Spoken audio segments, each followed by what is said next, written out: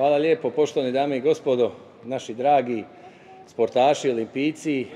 visoki uzvanici, članovi obitelji, predstavnici, vodstvo saveza,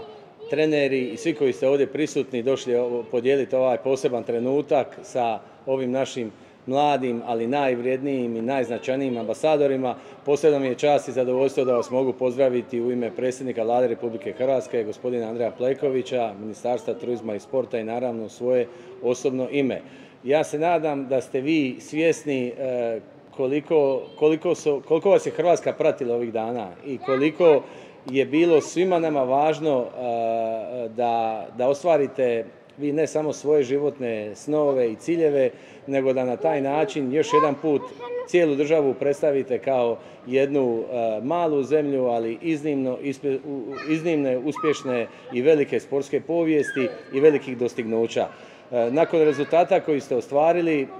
što drugo reći nego da smo izrazito, izrazito ponosni na vas i sretni što još jedan put ne samo što ste sa svojim rezultatom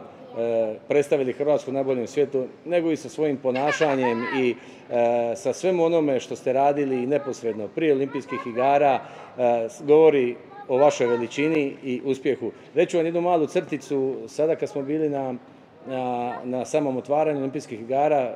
ja sam bio u pratnji predsjedniku vlade, gospodinu Plenkoviću, onda smo išli i u,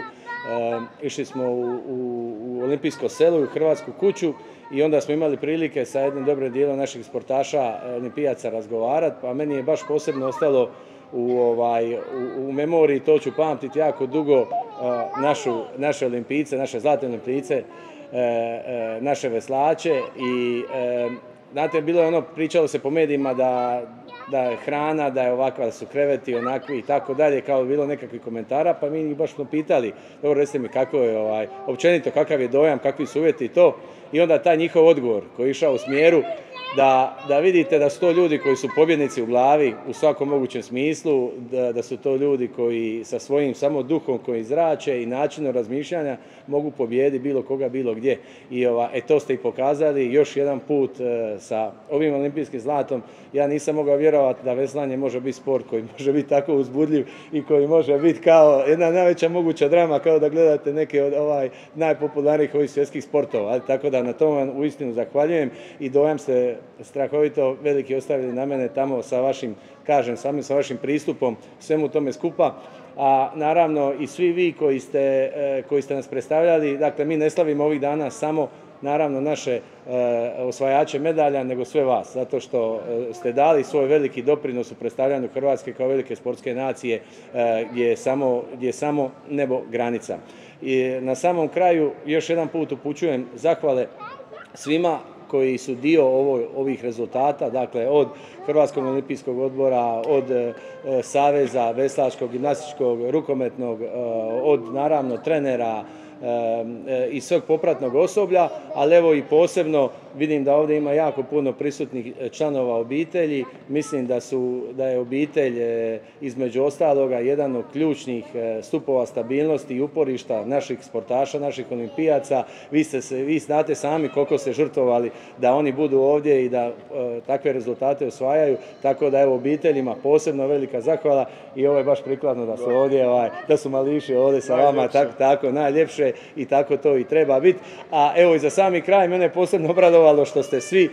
što niko odavde koliko sam upratio, niko se ovaj, ne ide u mirovinu sportsku takozvanu, nego, nego su najavili dalje nastupe da, da, se, da idemo u Los Angeles, idemo predstavljati Hrvatsku i dalje. Evo ja vam na tome čestitam kažem, e, učinili ste nas posebno ponosnima i evo ja se pridružujem pozivu gradonačelnika Tomaševića, uistinu svima vama koji ste u mogućnosti sutradan da se priključite na velikoj proslavi e,